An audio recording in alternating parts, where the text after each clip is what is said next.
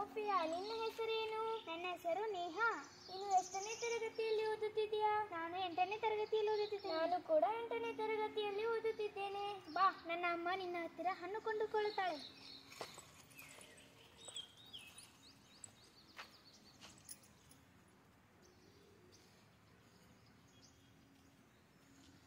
ಬಾಯ್ ಬಾಯ್ ಹಣ್ಣು ಬೇಕೇನ್ರಿ ಹಣ್ಣು ಹಣ್ಣು ಬೇಕೇನ್ರಿ ಹಣ್ಣು ಬೇಕೇನ್ರಿ ಹಣ್ಣು ಹಣ್ಣು ಬೇಕೇನ್ರಿ ಹಣ್ಣು?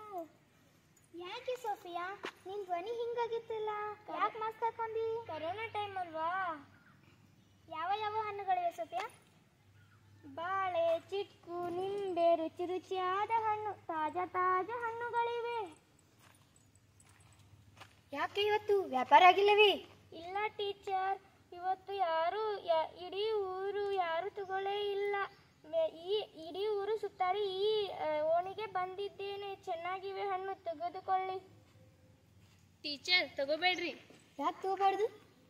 ಟಿವಿ ಒಳಗೆ ಹೇಳಾಕತ್ತಾರಲ್ರಿ ಬದಿ ವ್ಯಾಪಾರಿಸ್ತಿರೋದ್ರಿಂದ ಹಣ್ಣುಗಳನ್ನು ಕೊಂಡ್ಕೊಳ್ಬೇಡ್ರಿ ಅಂತ ಕರೋನಾ ಬರ್ತೈತಂತ್ರಿ.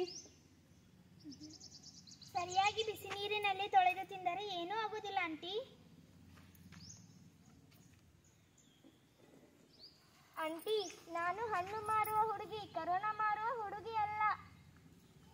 ಹಣ್ಣು ಬೇಕೇನ್ರಿ ಹಣ್ಣು? ಹಣ್ಣು ಬೇಕೇನ್ರಿ ಹಣ್ಣು? ಹಣ್ಣು ಬೇಕೇನ್ರಿ